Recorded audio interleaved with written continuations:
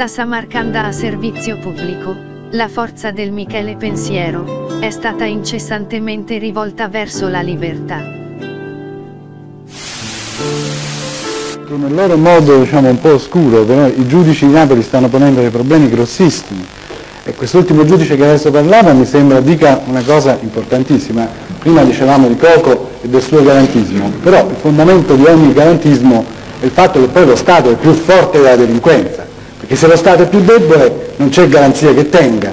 Allora io le cito quello che ha detto oggi Bettino Craxi a Repubblica, quindi voglio, voglio citare ormai un uomo che, che, si pone quasi al di sopra delle parti in Italia, eh? e dice noi non possiamo affrontare la catastrofe delinquenziale con i mezzi ordinari di repressione. Questo dice Craxi nella sua intervista a Scalfari. Lei che dice? Ma io non credo che si riferisse a strumenti legislativi eccezionali, almeno così penso, credo che si riferisse alla necessità di un impiego massiccio di mezzi, strumenti materiali, umani e legislativi, ordinari, non eccezionali, riguardanti questa materia. Quello che ha detto il collega è verissimo, un processo anni, certo, ma, so, ma, macchine, ma, anche strumenti giuridici. Soprattutto strumenti di indagine anche no? certamente ma anche un quadro normativo di riferimento che consenta a questo nuovo processo di poter decollare.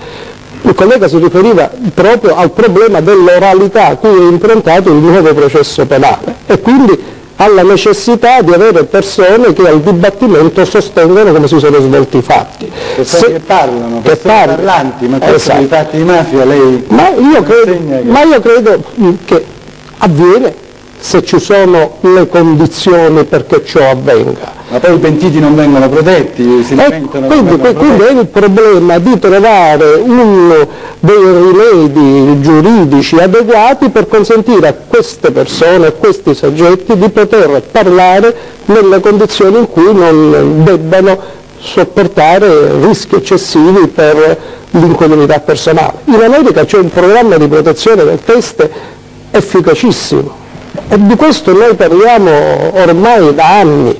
C'è stato un... un... Il convegno dei pentiti, lei l'ha sentito? Sì, come no.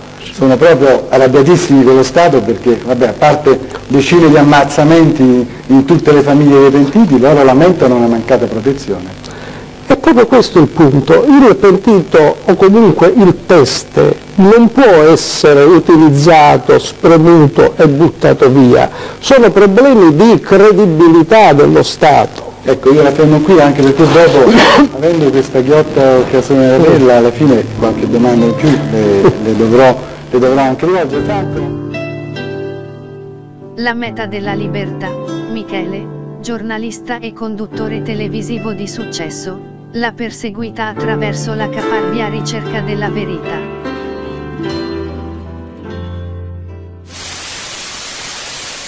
Imprenditore tessile, dico bene? E lei si è trovato pure lei faccia a faccia con queste richieste di tangenti? Sì, mi sono trovato, come un po' sanno tutti, più volte. Ho subito due, due ostruzioni, una rapina, oltre a, a intimidazioni varie. L'ultima è stata una minaccia di sì, attentato? Sì, è stato il 10 gennaio, poi sono venuto in fabbrica, sono venuto a casa e questa io volevo dire proprio al giudice Di Maggio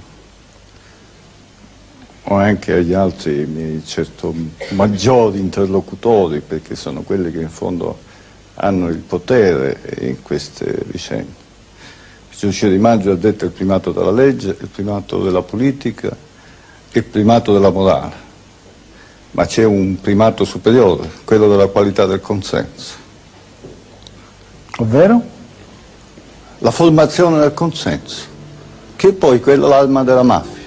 La prima cosa che controlla la mafia, cosa d'altra parte facile a trovarne una soluzione, è il voto.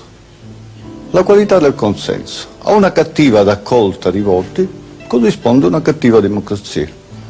I valori morali caro giudice, sono transeunti, si formano, sono contemporanei. Non c'è un valore morale, Non c'è una legge valida per sempre, la legge la fanno i politici, la fanno buona, la fanno buona, relativa al consenso. Sempre, se i politici hanno un cattivo consenso faranno le cattive leggi. E allora noi dobbiamo curare la qualità del consenso. Com'è che da questi onesti e sani principi, Michele, se n'è allontanato? Cosa ha spinto Michele, a sciogliersi nel PD, tanto da dire. Quanti di voi alzano la mano per dire che noi dobbiamo rimanere ignai? E adesso che fate di fronte a queste mani? Le tagliate tutte queste mani! Le tagliate tutte queste mani! Questo è importante, Bersani, che mi sei simpatico! Falle contare queste mani qui! Falli contare questi 30.000 che si sono riuniti qua stasera intorno a noi! Per quale recondita ragione, Michele, ha arruolato le 30.000 mani degli ignari partecipanti alla manifestazione, nelle fila del PD. Mistero. Il Michele pensiero nelle mani di Bersani. Un politico Bersani, intento esclusivamente agli interessi della propria ditta. E non della collettività. Film avanti, cioè eh, sono capace anch'io eh, di, di ribaltare un tavolo. Ha fatto di vedere di che pasta sono fatti. Oh, io ho, fatto, ho cercato di far vedere che sapevo che avevo davanti delle persone che avevano preso il 25% dei voti. Il 25% dei voti. Cioè gente, un movimento che ha avuto un risultato che non c'è mai stato in nessuna democrazia mondiale perché questi al primo colpo hanno preso il 25%. E quindi io ho mostrato umiltà, disponibilità, rispetto e gli ho anche detto alla Repubblica. E quindi arrivati a un certo punto il Presidente della Repubblica non era più in condizioni di mandare avanti la pratica e bisognava aspettare il nuovo appuntamento. E certo, davanti a una novità come quella del Movimento 5 Stelle, è chiaro che il tentativo di vedere se ci fosse un minimo di chiave di discussione, mica che io volevo fare l'alleanza con Grillo, mica mi sono mica matto. Io facevo una proposta che era su otto punti di cambiamento avviamo la legislatura, consentite come ritenete, mi rivolgevo mica solo a loro, a tutti quanti, al Senato, fate partire con un gesto tecnico se volete, e poi provvedimento per provvedimento ci misuriamo in Parlamento.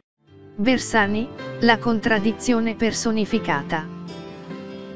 Il momento più significativo, del tradimento del Michele pensiero, da parte di Michele, è stato nella santificazione politica, di Giorgio Napolitano.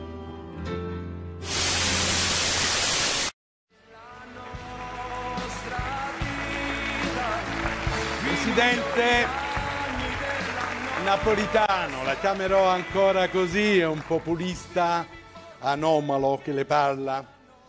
Lei ricorda di sicuro quella simpatica canaglia che fu per tanti anni il mio direttore al TG3, Sandro Curzi, l'unico capace di fare stare insieme il diavolo e l'acqua santa, di essere amico di Craxi e Andreotti e di permettere a uno come me di dar vita a Samarcanda, il programma che ha il merito o la colpa di aver accompagnato alla tomba la Prima Repubblica. Curzi mi precettò una sera per una cena con Giancarlo Paietta.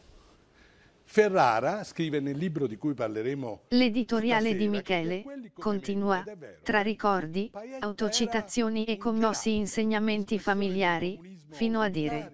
Oggi il PC non c'è più e c'è il partito di Renzi, che nonostante il numero di deputati e senatori, nonostante il suo potere, sicuramente non è più comunista, ma per me è tornato ad essere il partito che non c'è. Presidente, so di aver fatto molte trasmissioni per lei. Avete capito bene, per Michele, il partito che non c'è, è il Partito Democratico. O meglio, questo Partito Democratico. Ma i comunisti come lei, e mi scuserà se continuo a considerarla un comunista, quando assumono cariche istituzionali diventano una cosa sola con lo Stato, immancabilmente. Così, quando Quale in Stato? Italia si è venuto a creare un momento lacerante, Quello della trattativa Stato-mafia. Lei, proprio come fece Paietta con suo figlio, L'editoriale di Michele si conclude con il suo devoto ringraziamento nei confronti del peggiore presidente della Repubblica Italiana e e pensare che tutto ciò è avvenuto dopo il vergognoso falò delle intercettazioni. Roba da far rivoltar nella tomba, libero Grassi. La formazione del consenso, che è poi quella l'arma della mafia. La prima cosa che controlla la mafia, cosa d'altra parte facile a trovarne una soluzione, è il voto. La qualità del consenso. A una cattiva raccolta di voti corrisponde una cattiva democrazia. Nel frattempo, Michele, esponente del ritrovato partito che non c'è, agli aspidi, ridicolizza il Movimento 5 Stelle. Un attimo eh, Di Maio, che se no si annoia anche quelli suoi fan. O, eh, Di Maio, che se no si annoia anche quelli suoi fan. Si sa- o, Di Maio, che se no si annoia anche quelli suoi fan. Si sa- Eh, ma non credo, perché insomma sono argomenti che le dovrebbero essere. No, anzi, il merito di questa puntata è proprio quello di aver riportato l'attenzione su un tema di cui ci si era dimenticati e domani mattina eh, molto probabilmente si comincerà a straparlare del fatto che questa puntata magari ha acceso in negativo i riflettori sulla Campania, ma quello che stanno cercando i cittadini della provincia di Napoli e Caserta è un po' di verità, anche per sconfessare il luogo comune, perché questo tema della